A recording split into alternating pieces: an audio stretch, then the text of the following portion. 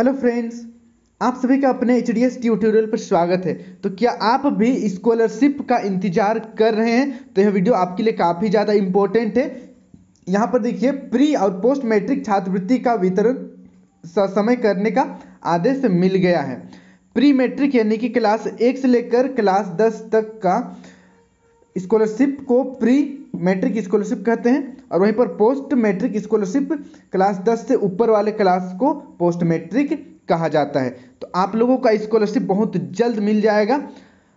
आप लोगों को पता होगा कि एस सी एस और ओ बी सी वालों को स्कॉलरशिप मिलता है।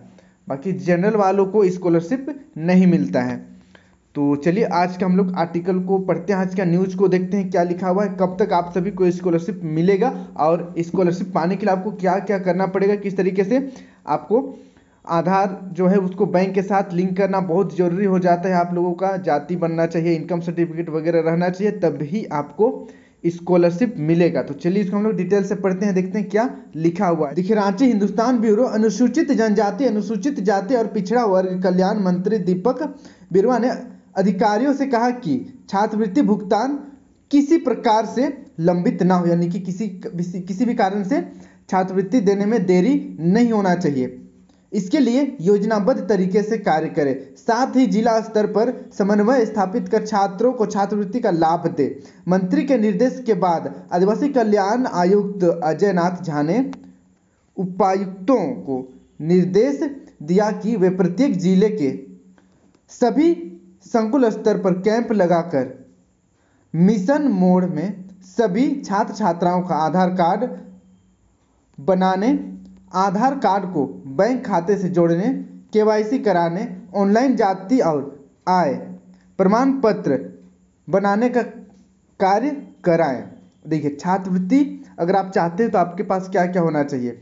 सबसे पहला तो आपका आधार कार्ड बना हुआ होना चाहिए। आधार कार्ड आपका बैंक से लिंक होना चाहिए के आपका होना चाहिए। ये सब मैं कई बार आप लोगों से आ, मैंने कहा है ये सब करा लीजिएगा। साथ में आपका ऑनलाइन जाति प्रमाण पत्र होना चाहिए ऑनलाइन आय प्रमाण पत्र होना चाहिए।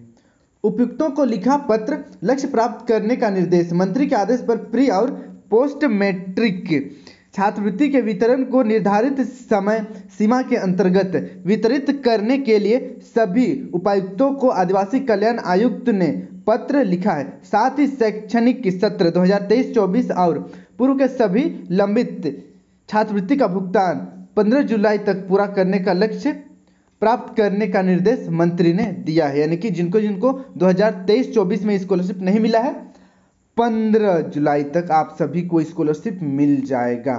ठीक है? लगभग और 25 दिन के अंदर आप सभी का 20 से 25 दिन के अंदर आप सभी का स्कॉलरशिप आपके अकाउंट में आ जाएगा चेक कीजिएगा और अगर आ गया है तो नीचे कमेंट ज़रूर कीजिएगा कितना आया है, वो भी आप लोग नीचे कमेंट कर सकते हैं। आगे देखिए, वही इकतीस अक्टूबर 2024 तक शैक्षणिक सत्र 2024-25 का भुगतान भी पूरा करने के प्रति गंभीरता से कार्य करने की बात दीपक बरुआ ने कही है। इसके अलावा मंत्री ने उपायुक्तों से यह भी अपील की है कि सभी विद्यालयों के बाल संसद में एक छात्रवृत्ति मंत्री बनाया जाए, जिससे छात्र छात्राओं को मिलने वाली छात्रवृत्ति की जानकारी के साथ अपने छात्रवृत्ति विषयक अधिकारों के प्रति भी जागरूक हो सके। तो यही है आज का न्यूज़। 15 जुलाई 15 जुलाई तक आप सभी के अकाउंट में छात्रवृत्ति का पैसा आ जाएगा। चेक ज़रूर कीजिएगा और अगर वीडियो बाद में आप देख रहे हैं 15 जुलाई के बाद में तो आप लोग नीचे कमेंट ज़रूर कीजिएगा कि आपके अकाउंट में पैसा आया या नहीं आया और कितना आया, आप लोग कमेंट ज़रूर कीजिएगा। आज के लिए इतने अपने सभी दोस्तों के साथ वीडियो को शेयर कर दीजिए ताकि सभी को पता चल सके कि 15 जुलाई तक आप लोगों का पैसा सेशन 2023-24 का, ठीक है? सेशन 2023-24 का स्कॉलरशिप 15 जुलाई तक आपके अकाउंट में आ जाएगा। Thank you for watching video जय हिंद, जय भारत।